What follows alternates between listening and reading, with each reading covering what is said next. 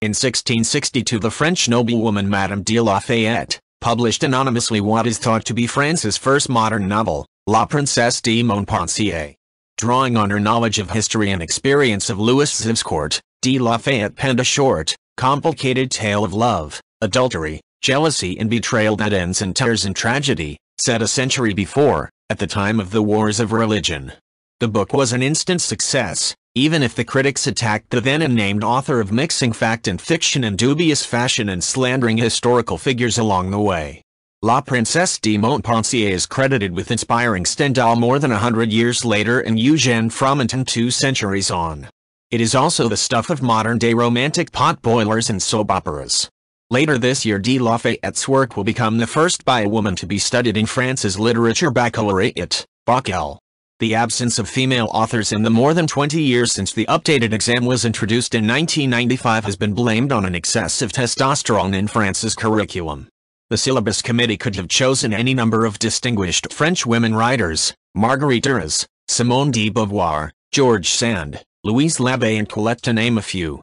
Instead it chose a woman whose name will be largely unknown outside of her homeland, except to students of French literature and fans of French cinema. The book was turned into a romping costume drama by French filmmaker Bertrand Tavernier in 2010.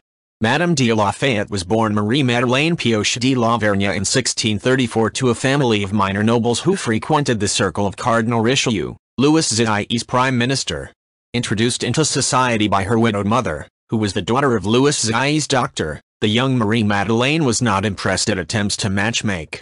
Aged 19, she wrote to her friend, the historian and writer Gilles Ménage, I'm utterly convinced that love is something inconvenient and I'm overjoyed that my friends and I are exempt from it.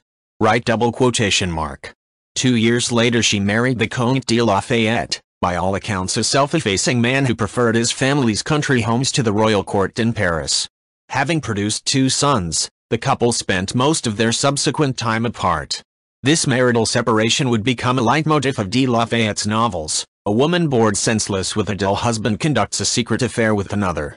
In a France Culture radio documentary, Laurence Plazenet, a writer and expert in 17th-century French literature at the Sorbonne, said de Lafayette's obsession with secrecy led to friends nicknaming her Brouillard, fog.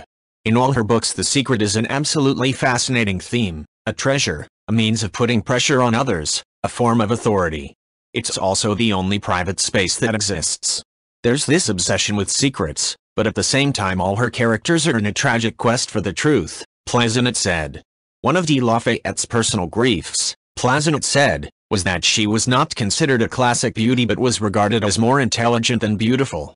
Philippe Sellier, a literature professor at Paris IV University, added that Madame de Lafayette, along with the aristocratic writers Madame de Sévigné and Mademoiselle de Scudéry, formed what he called a feminine avant-garde.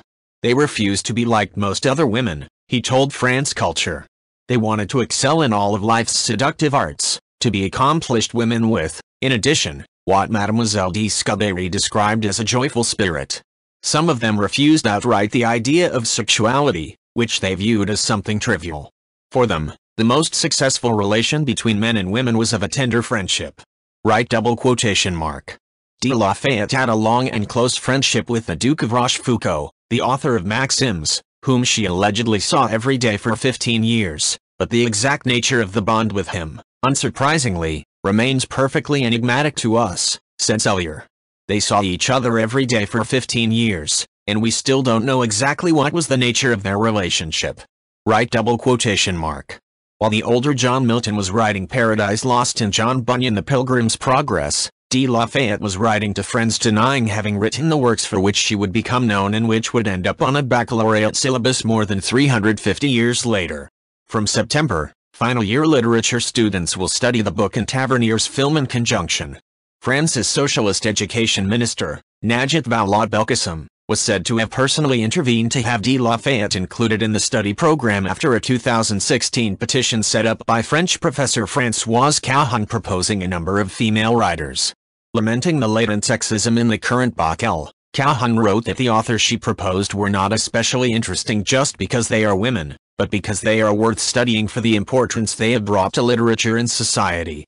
Campaigners are now trying to increase the number of women writers included in the teacher training literature degree. Since 1981, only 11 books by women have been included out of about 220 works studied. If you like this video please leave a like and subscribe.